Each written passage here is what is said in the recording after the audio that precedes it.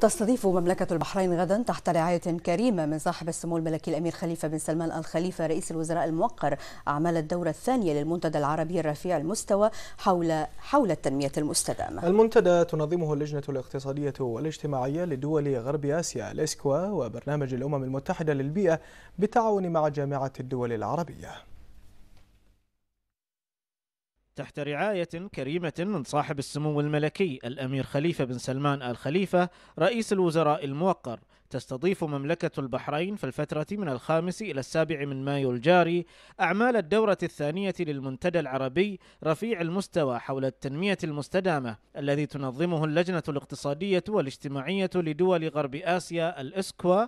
وبرنامج الأمم المتحدة للبيئة بالتعاون مع جامعة الدول العربية بمشاركة نحو 200 مشارك من الوزراء وكبار المسؤولين الحكوميين وغير الحكوميين. وتأتي استضافة مملكة البحرين لفعاليات هذا المؤتمر الهام تقديرا لحضور المملكة الفاعل والاستراتيجي ضمن المنظومة العربية والدولية في مجال التنمية المستدامة بما لدى البحرين من تاريخ مشرف من الإنجازات الدولية على مستوى التنمية المستدامة.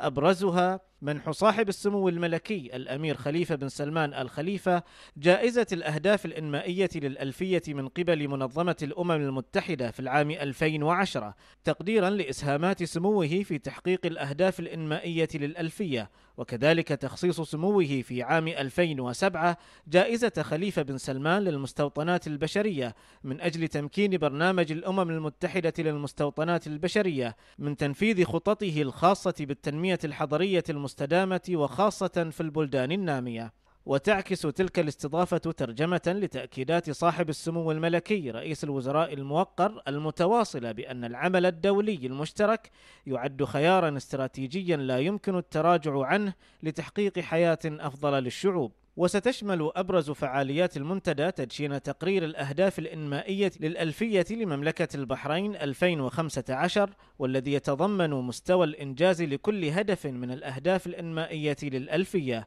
كما من المقرر أن يتطرق المنتدى إلى عدة موضوعات أهمها أبرز التحديات الاقتصادية والبيئية والاجتماعية لا سيما في ظل استمرار الصراعات في المنطقة العربية.